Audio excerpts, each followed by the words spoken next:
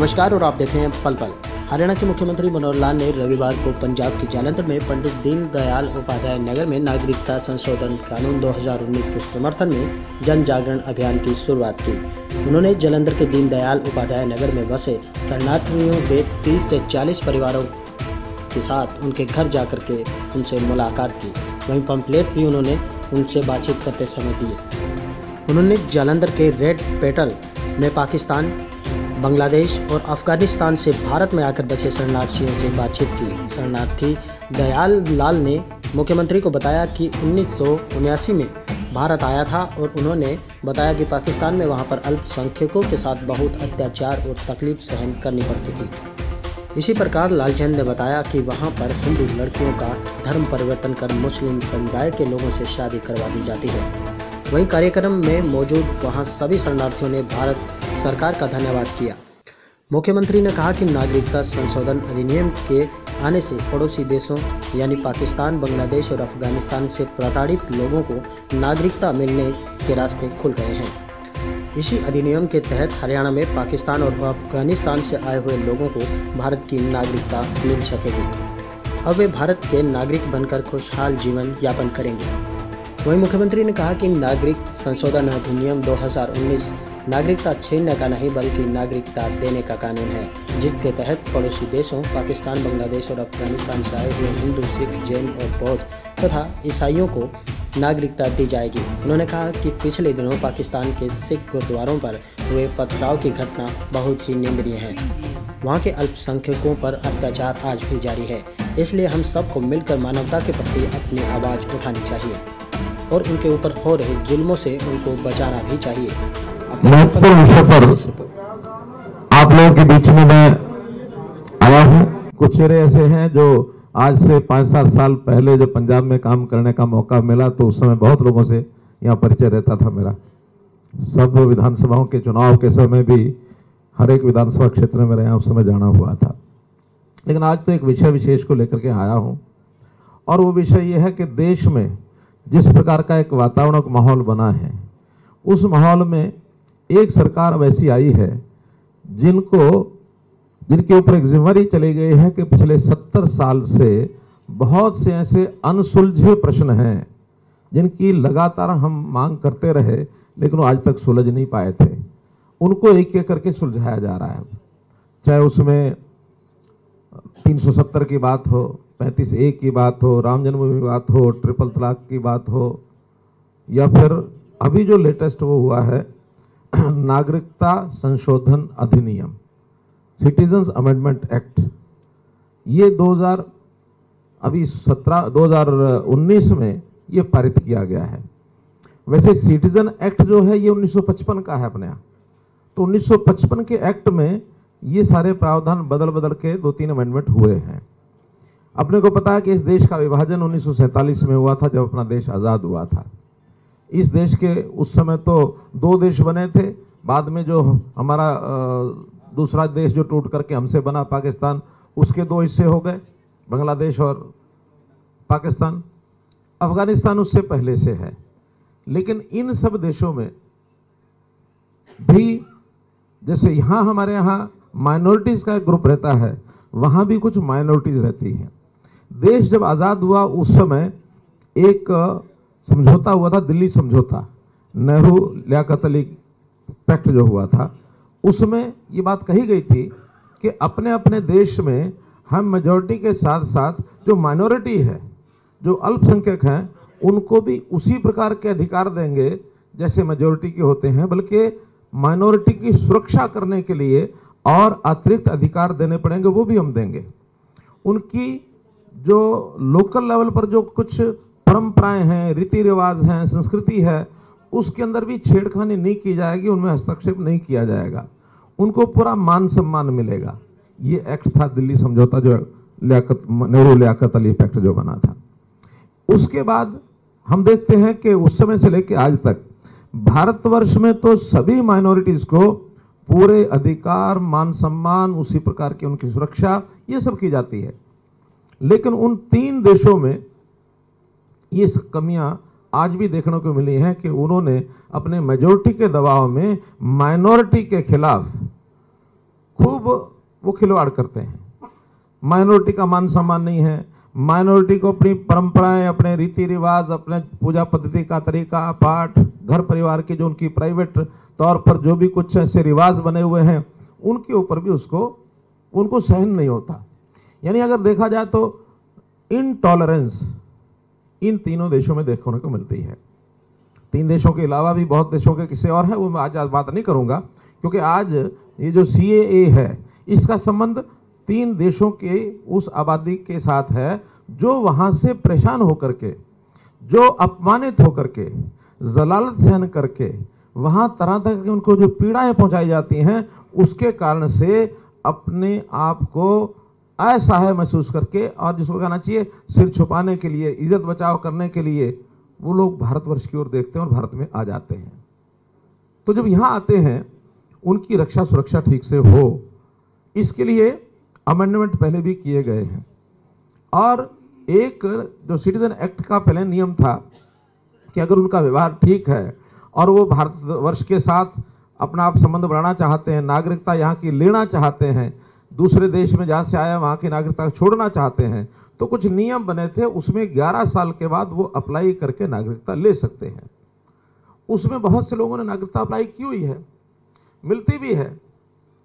बाकी सब धर्मों को भी मिलती है। इवन मुस्लिम धर्म जिसके बारे में बात कहा जा रहा है कि वहाँ का जो मेजोरिटी है, वो मुस्लिम समाज है। मुस्लिम समाज को भी मिलती है। ऐसा नहीं कि नहीं मिलती है। अगर मैं आंकड़ा आपको बताऊँ तो पिछले 2014 से 2019 जो पहला हमारा एनडीए सरकार का टाइम पीरियड रहा मोदी जी का, उसमें भी साढ़े पाँच सौ मुस्लिम परिवारों को नागरिकता मिली है। बाकियों को मिली है। मैं मुस्लिम परिवारों को खास बता रहा हूँ। ऐसा नहीं कि मुस्लिम परिवार को नहीं मिलती है। उनको भी मिलती है। अभी 12 साल के अंदर जिनको अभी नागरिकता नहीं मिली है, ऐसे परिवार आज भी बहुत बड़ी संख्या में कुछ प्रदेशों में हैं। और खास करके ऐसे प्रदेशों में जो इधर तो पाकिस्तान और अफ़गानिस्तान के नज़दीक हैं, उसमें पंजाब भी है, हरियाणा भी है, जम्मू कश्मीर भी है, दिल्ली है, और कुछ प्रदेश जो बांग्लादेश के नज़दीक हैं, उसमें बंगाल है, बिहार है, उड़ीसा है असम है, ऐसे सब प्रदेशों में वहाँ के लोग जाकर के रहते हैं। इनको नागरिकता सुविधाजनक तरीके से मिले, थोड़ा जल्दी मिले, एक अमेंडमेंट सिर्फ़ इतना ही किया है। वो जो 11 साल का टाइम बढ़ था, उसकी बजाय अब उसको सिर्फ़ पाँच साल कर दिया गया और पाँच साल की भी एक डेडलाइन लिमिट लगा दी कि किस समय तक के पाँच साल, यानी 31 दिसंबर 2014 इससे पहले जो लोग आए हैं, उनको अब सुविधाजनक तरीके से हिंदू, सिख, बौद्ध, जैन, ईसाई, पारसी, ये लोग हैं जिनको इस दायरे में लाया गया है और उनको जल्दी नागरिकता मिलेगी। उनको जीने का पूरा सम्मानजनक अधिकार यहाँ मिलेगा। ये एक प्रावधान किया है। ये सारी घटनाएँ उनको पुष्ट करती हैं।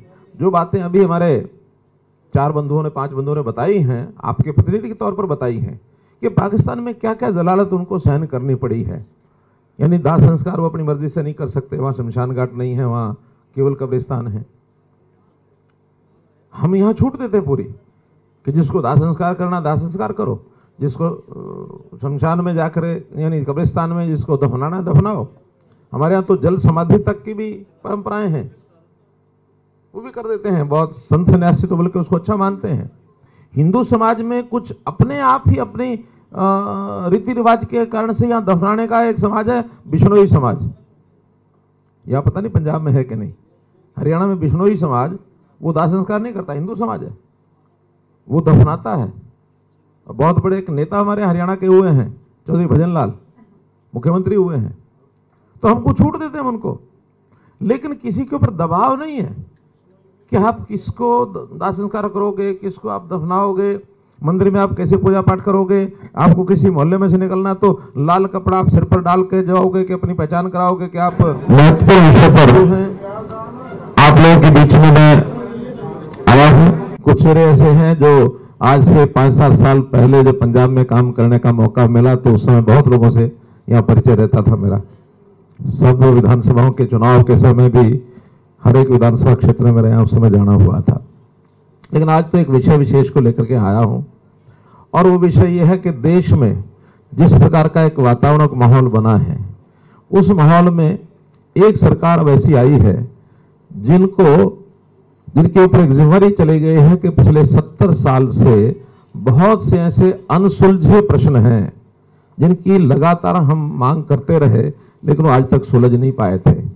उनको एक एक करके सुलझाया जा रहा है।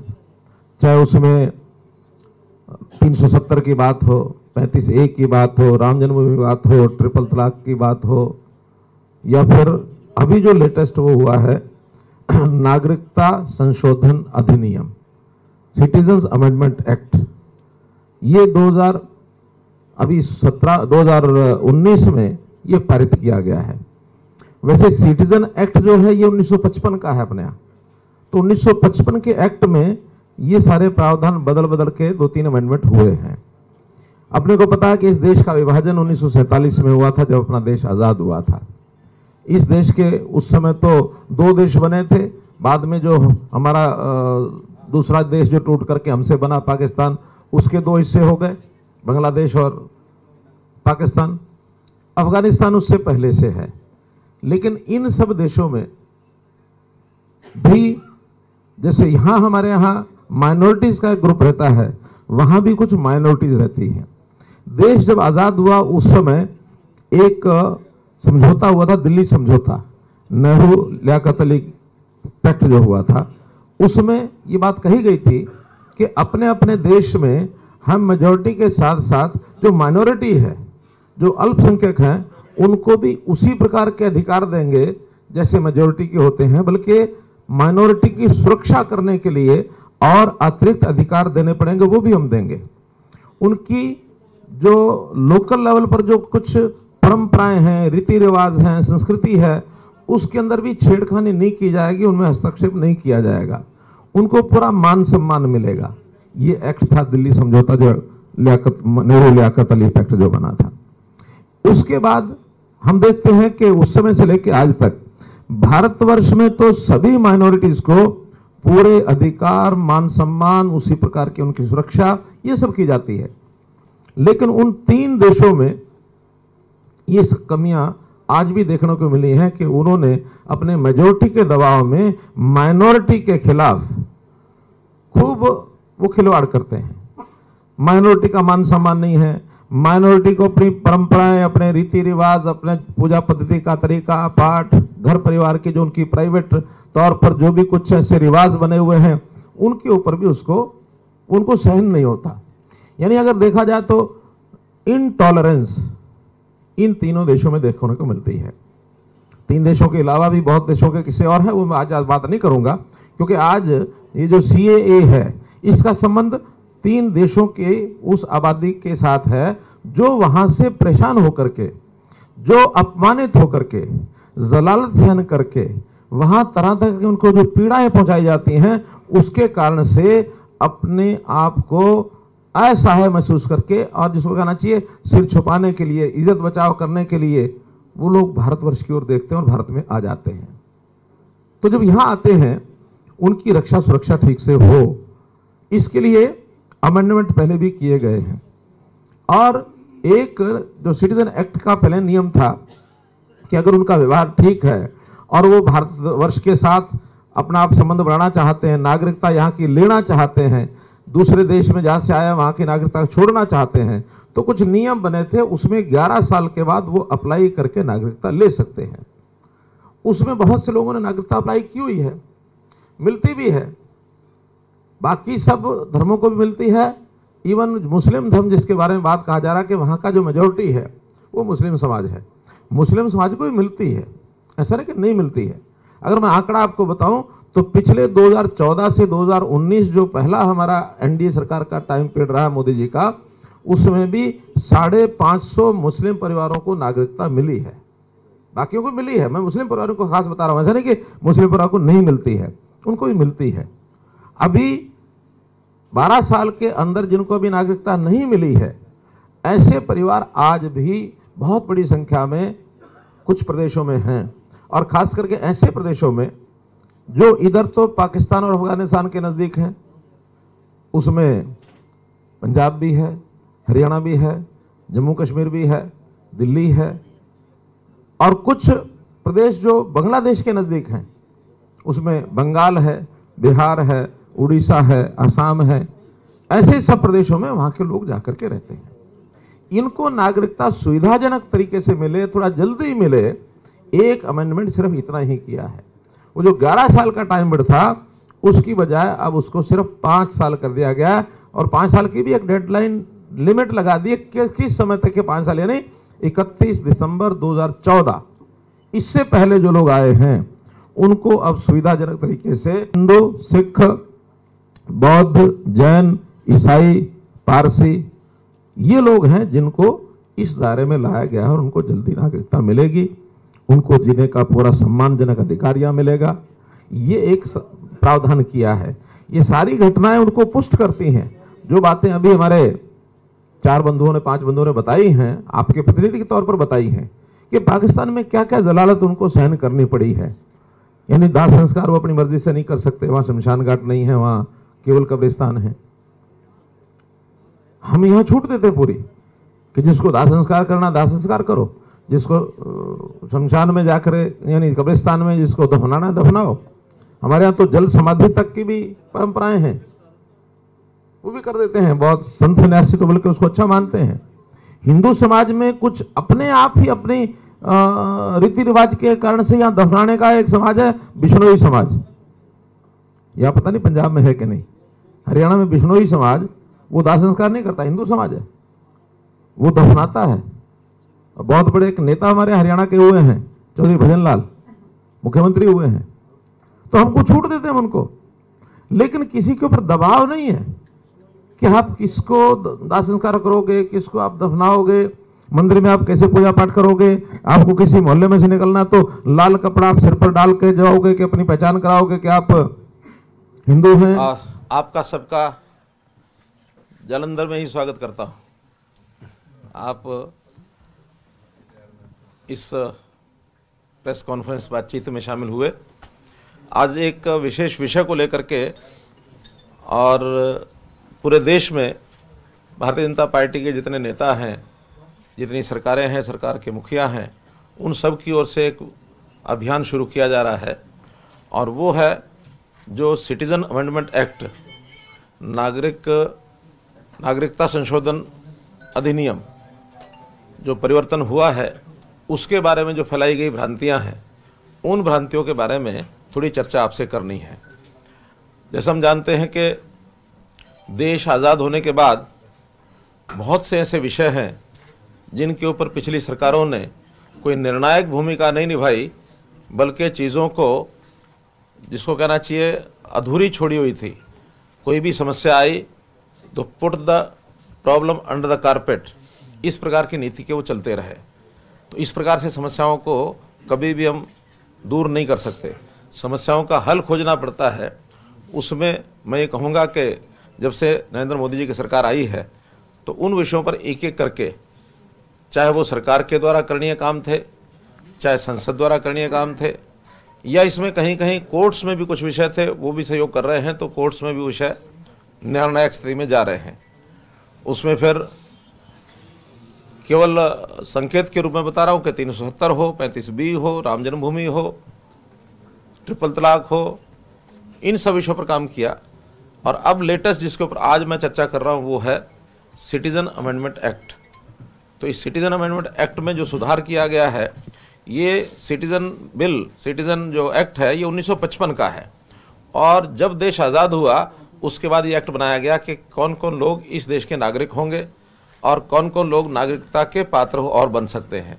उसी में समय समय पर कई संशोधन हुए, कुछ नए रूल्स बने और एक नया संशोधन ये अब आया है, जिसके अंतर्गत जो पड़ोस के तीन देश हैं, पाकिस्तान, बांग्लादेश और अफ़गानिस्तान, वहाँ की जो माइनॉरिटीज़ हैं, उनको वो समान अधिकार नहीं मिलते, उनका मान सम्मान नहीं होता, बल्कि जो ऐसे लोग हैं जो अपने माइनॉरिटीज़ को भी जलील करते हैं, उस जलालत को सहन करके अगर उन देशों से भारतवर्ष में कुछ लोग आए हैं, उनको नागरिकता, जो पहले प्रावधान था कि 11 साल के बाद वो नागरिकता उनको मिल सकती है, उस समय को कम करके और पाँच साल किया है। पाँच साल का भी एक डेट बाउंड प्रोग्राम जो है, दो इकतीस दिसंबर 2014 से पहले जो लोग आए हैं, उनको नागरिकता के लिए आवेदन करने पर नागरिकता मिल जाएगी। उसमें चाहे वो माइनॉरिटीज़ वहाँ की जो माइनॉरिटीज़ हैं, उसमें हिंदू हैं, सिख हैं, जैन हैं, बौद्ध हैं, ईसाई हैं, पारसी हैं, इन सब लोगों को सुविधा दी गई है। इस बात को कुछ विपक्षी दलों ने और एक मुद्दा बनाकर लोगों को भ्रमित किया, लोगों को शंकाएँ उनमें पैदा की और ख़ास करके मुसलमानों में शंकाएँ पैदा की कि जैसे मुसलमानों की नागरिकता को छीन लिया जाएगा, इस प्रकार का भ्रम फैलाया गया। मैं इसमें एकदम स्पष्ट करना चाहता हूँ कि ये बिल, ये जो संशोधन किया गया है, ये एक पर्टिकुलर क्लास को नागरिकता देने के लिए किया गया है। किसी की नागरिकता छीनने के प्रावधान के बारे में कुछ नहीं है। वो तो जो ओरिजिनल जो हमारा एक्ट है सिटीजनशिप एक्ट 1955 का जो प्रावधान उसमें है, वो सब वही है। केवल इस वर्ग को कि इन तीन देशों की माइनॉरिटीज़ को यदि वहाँ से जलील होकर के आना पड़ता है, उनको वहाँ रीति रिवाज नहीं माने दिए जाते, उनको वहाँ रोज़गार से बेदखल बेदखल किया जाता है, उनको उनको हर प्रकार से उनके कामकाज में जो बाधा डाली जाती है, उनको परेशान किया जाता है, कई लोगों को धर्म परिवर्तन के लिए मजबूर किया जाता है तो इस नाते से उनको यहाँ आने पर नागरिकता की सुविधा यानी पाँच साल पहले वाले जो नागरिक हैं, उनको सबको मिल जाएगी। ताज़ा उदाहरण अगर मैं देना हो तो ऐसे ऐसे उदाहरण जो पहले भी हुए हैं, वो उनका प्रभाव।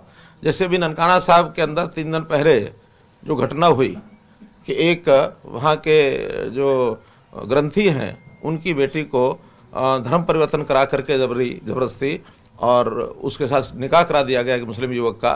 और जब विरोध किया सिखों ने तो फिर उस गुरुद्वारे को पथराव हुआ और सौ के लगभग जो फैमिलीज़ है सिखों की, उस गुरुद्वारे के अंदर अभी भी हैं और वहाँ एक विरोध चल रहा है। और, बल्कि यहाँ तक कह दिया गया कि ननकाना साहब का नाम बदल करके शायद कुछ और नाम, मुस्लिम नाम उन्होंने बताया कि वो नाम रख लिया जाए। तो ये घटना, यानी इस समय पर जब ये सारी चीज़ें चल रही इस समय पर भी करने की उनकी हिम्मत होती है तो आगे पीछे तो वो क्या करते रहे होंगे? तो आज अगर मैं ये कहूँगा कि अपने देश में एक इस प्रकार के कानून बनाए जा रहे हैं जो इस देश के प्रति प्यार रखने वाले लोगों को सुरक्षा देने में अगर वो कारगर हैं तो उसका सबको स्वागत करना चाहिए। इसका विरोध किसी राजनीतिक यानी मंशा को लेकर के criticism for the sake of criticism opposition for the sake of opposition ये नहीं करनी चाहिए, ऐसा मेरा कहना है।